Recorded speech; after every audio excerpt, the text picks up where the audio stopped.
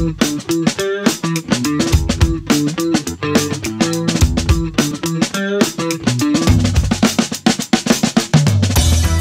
guest today is Caito Scherr. Caito, how are you?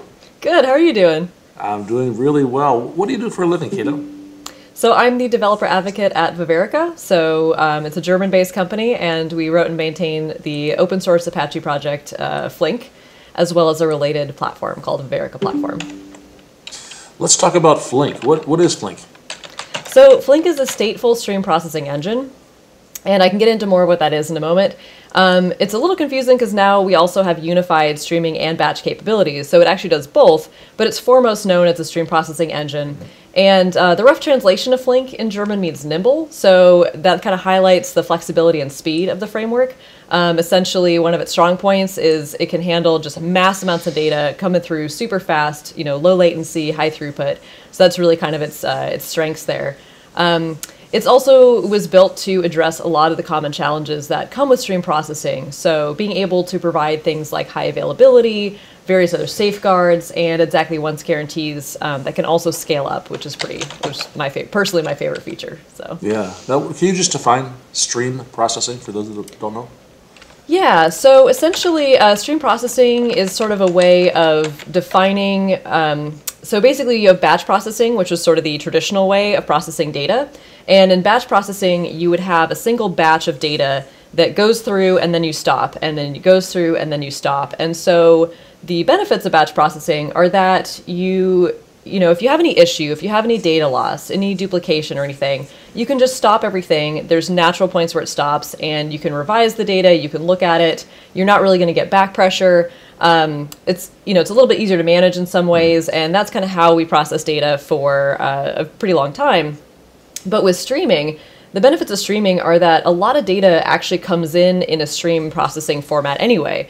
So if you're looking at weather sensor readings, you know, you want to know what the temperature is right now. You don't want to have to wait and say, you know, oh, it changed. Or video games. If you're in a video game, you don't want to stop and be like, oh, I, you know, um, I shot the bad guy, and then sit there, you know, okay, now I got the feedback that you know the other character had this action. It's more real time interactions. Exactly, yeah. So we want to get as near real time as possible. And this is particularly important for things like fraud detection, where you want that, you know, if something bad happened, you want to know that something happened with your data as fast as possible and you don't want to have to wait.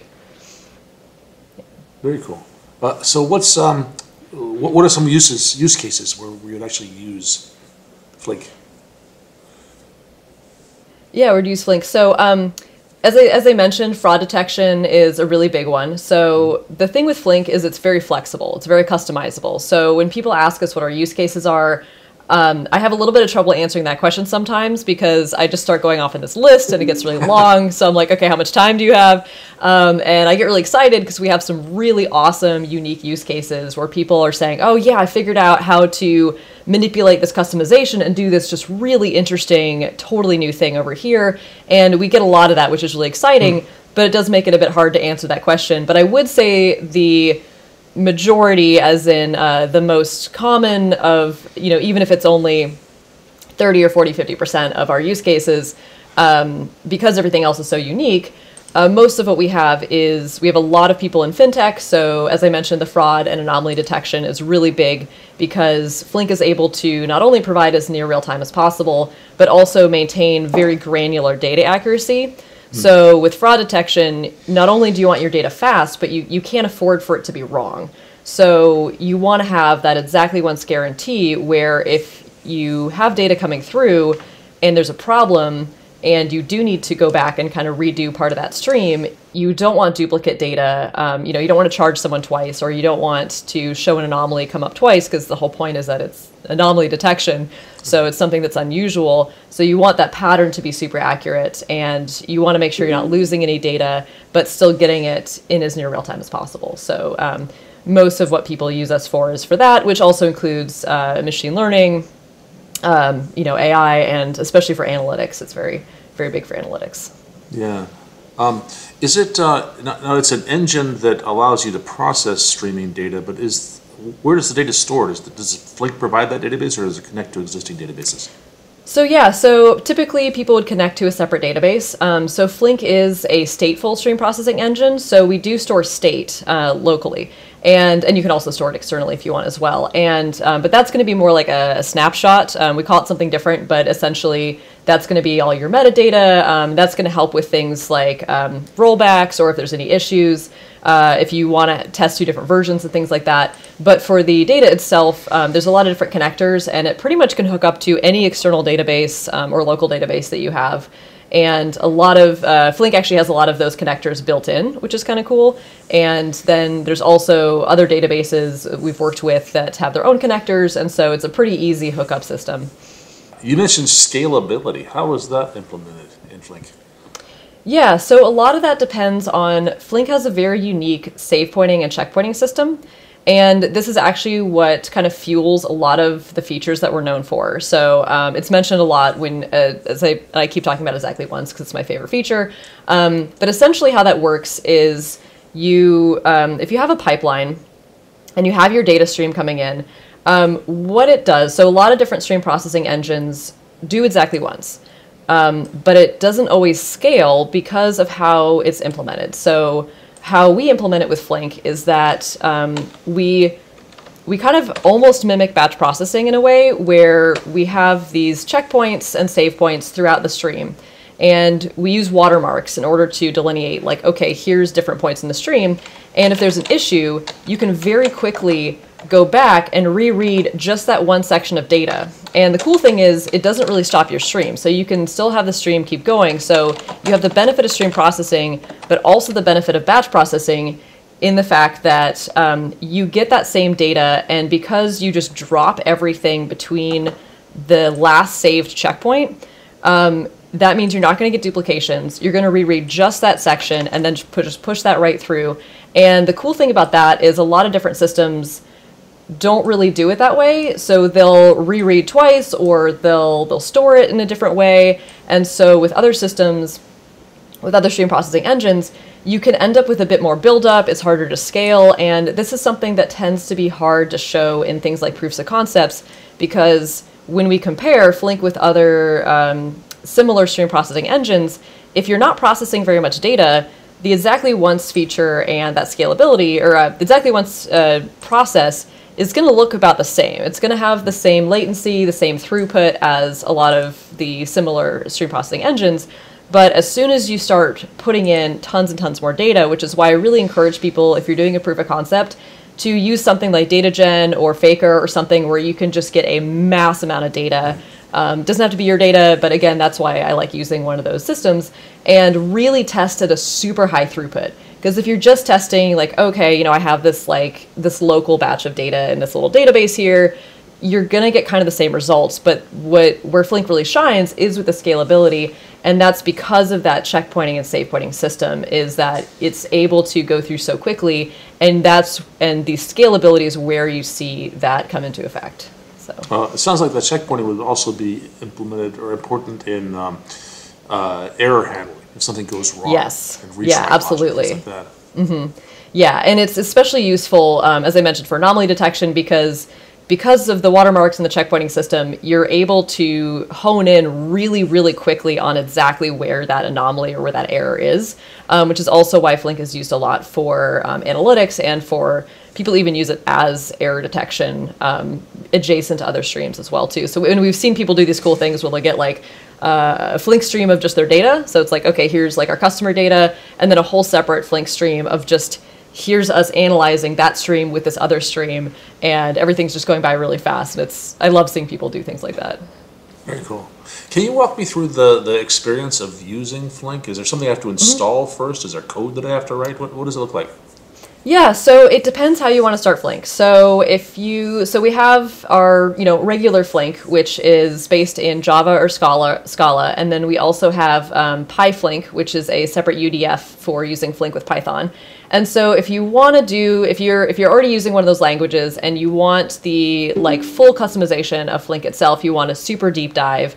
People will usually start with that. However, um, I am a huge fan of Flink SQL. It makes things a lot easier. It abstracts a lot of the uh, complexity because Flink is a very, you know, as I mentioned, it's a very high powered stream processing engine, so it can get complex, um, especially because it's intended to address a lot of very complex issues with stream processing. And so with Flink SQL, having some of that abstracted away, especially if you're just getting started, is a really nice way to um, get those proofs of concepts going, find out if it's really going to fit your use case, and then if you want to, then you can build in the uh, Java and Scala and Python Flink into that. Um, or you can just continue using Flink SQL for most use cases. You can get very granular with it. Um, and the Flink SQL, it's language agnostic, so any language that you're coding in. Um, I also particularly like it because it's a lot more friendly if you're uh, DevOps or if you know you're not like a super deep dive Java person. So that's what I would recommend personally. If you're just kind of getting into it, you want to play around with it, you just want to see what capabilities it has and be able to just jump right into the deep end without a lot of overhead. Um, and you do, even with Flink SQL, you do still need to install Java 8 or 11 uh, on your machine or just make sure it's installed. And I know a lot of times I say that, and people are like, you promise I didn't have to write Java. And uh, I do promise if you're doing Flink SQL, you do not need to write Java um, or Scala, but you do just need it because um, some of Flink SQL is uh, based on the Java heap. So. Got it. Uh, is, when you install uh, uh, Flink itself, is that something that I install on my server, or is that something that's out in the cloud somewhere? How, how does that work? Yeah, so um, you most of the time, yeah, you would st- install it on your machine. Um, I there are some exciting things coming up that will make my answer to that different that I unfortunately can't tell you about yet. Okay, um, watch for it. so stay tuned. Uh, you can check out uh, Ververica Data on Twitter. There'll be some interesting announcements about that coming up soon. But yeah, currently you would install it on your machine, and you literally you just make sure you have Java 8 or 11 installed locally, and then you just it's just like a you can either do the binary file or download the Flink sna- uh, Flink snapshot, and so that's just on the Flink website. It's like a three step process. Um, uh, I actually I've I've live coded it a couple times in talks, and it you know it takes like maybe five minutes or less to even just have everything load up on there. All right. Uh, You said, you mentioned right at the start, this is an open source project, but it's run by a company. What's, what's the licensing model? How, do- how does Ververica make their money? Yeah, so um, so Flink, as I said, yeah, is open source entirely. So it's owned by the Apache Software Foundation. So all uh, Flink licensing is through Apache. So it's gonna be the exact same as any other Apache project.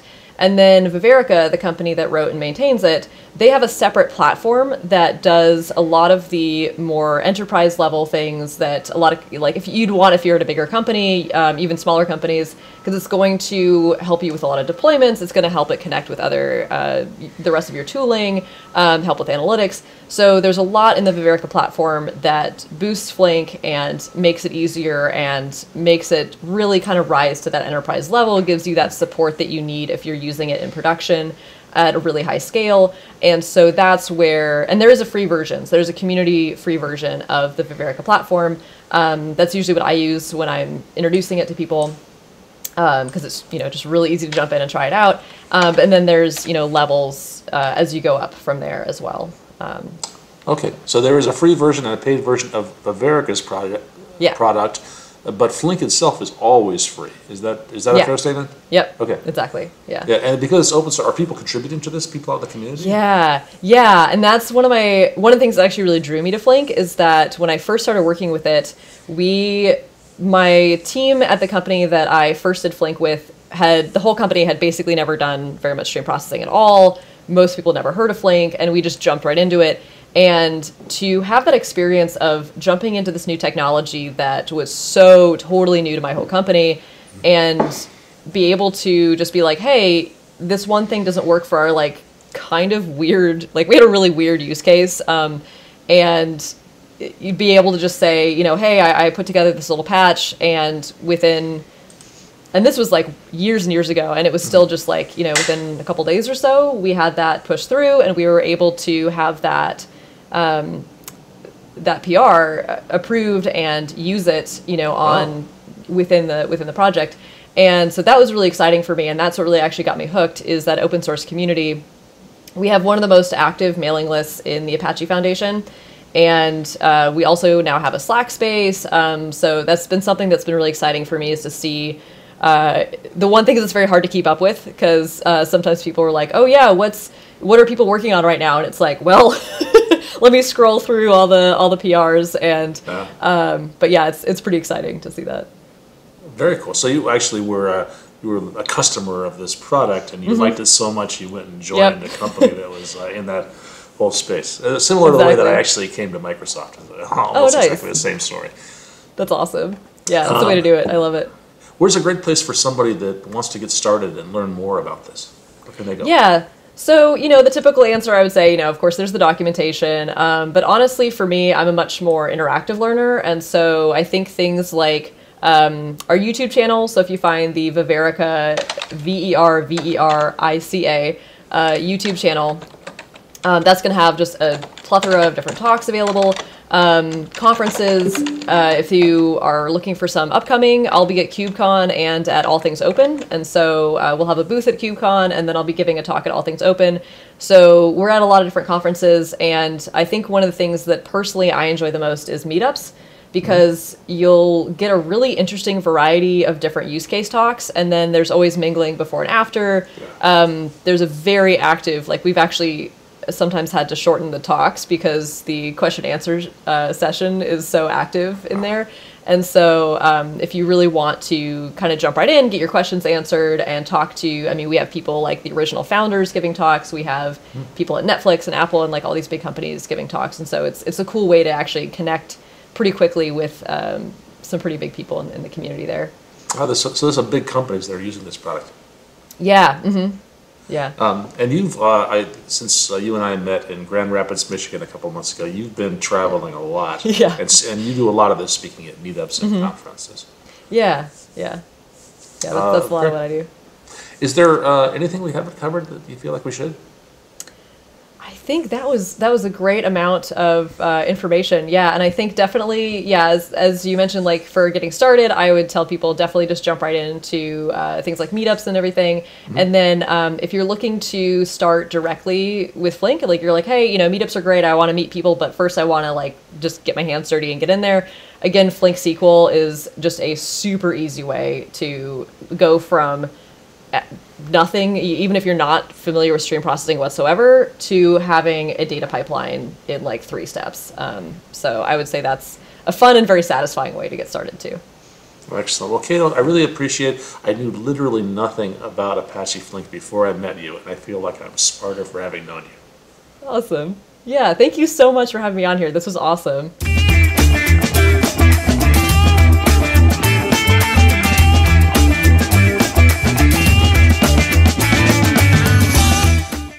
Thank you so much for being my friend in technology. This was awesome. Thank you.